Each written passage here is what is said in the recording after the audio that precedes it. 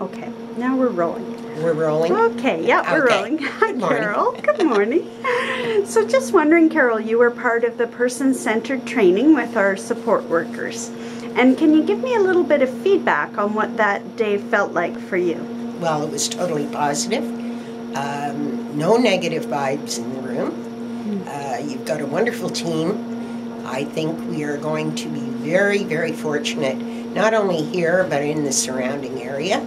There are so many seniors who really want to stay home, but just can't do it on their own.